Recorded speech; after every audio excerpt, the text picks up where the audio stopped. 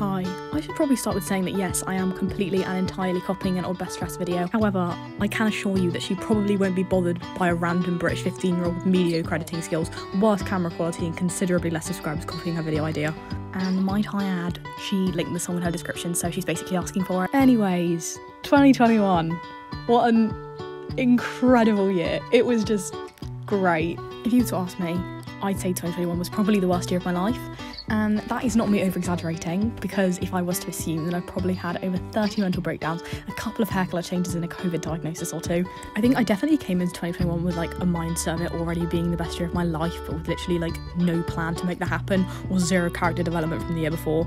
So I can only blame myself, but I'm still the type of person that's just going to blame all my issues on the patriarchy, coronavirus, and the fact that my parents think my phone causes every deadly disease to walk the planet.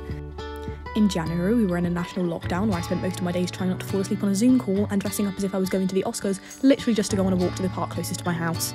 It snowed, which led everyone in England to be in a three day state of euphoria and then fall back into a national depression after it melted away. And my mother lost her mind and turned into a bird whisperer.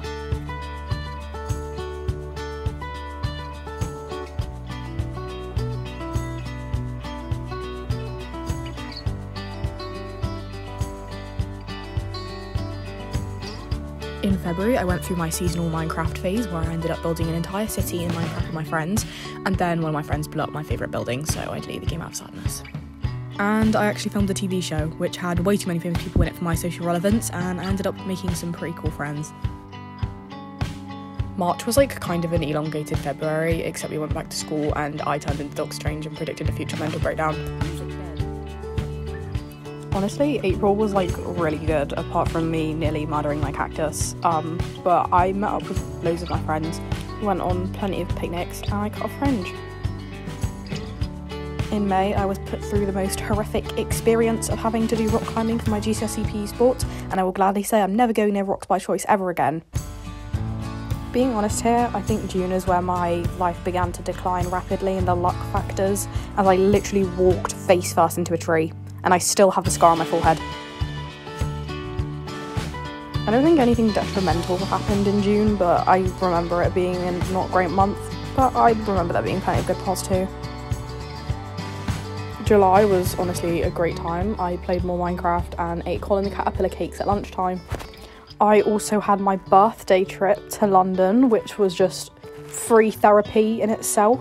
I went to a really, really bougie restaurant where I felt like I did not belong there. Um, and me and my sister rode our bikes around Hyde Park like the main characters that we are.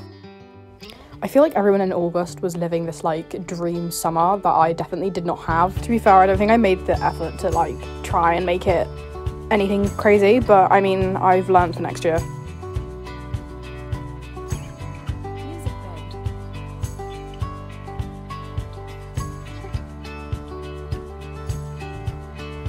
I'd actually possibly like push it to the point of saying that my September was better than my August. I went back to London and I got my hair braided and I just had everything that I wanted and needed at that point in time.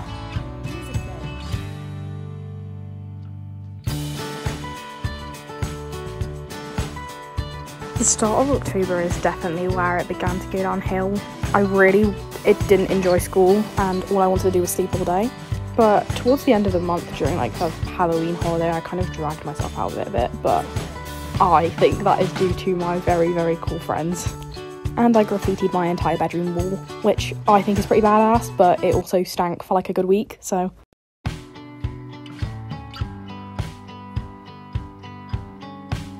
November was a very weird time because I think I was stuck in some like weird medium between being like really, really happy and really, really sad. And I think it just fluctuated very, very um, drastically throughout the month.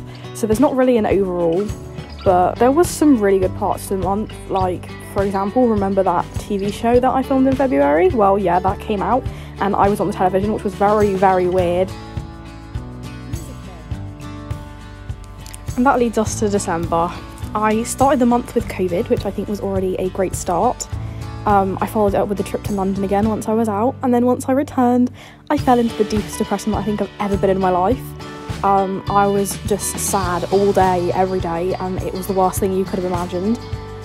But actually, about only a week ago, I decided to do something about it.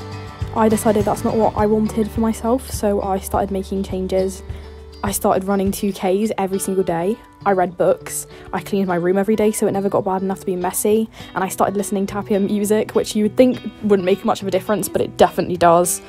I listened to Emma Chamberlain's podcast every single day on a new topic on how I could improve myself. And guess what? It began to work. I started baking and cooking um, I tried to do something creative every single day, whether it was writing something or filming a video or painting. I even started meditating, which sounds so stupid, but I gave it a try and it was actually kind of cool.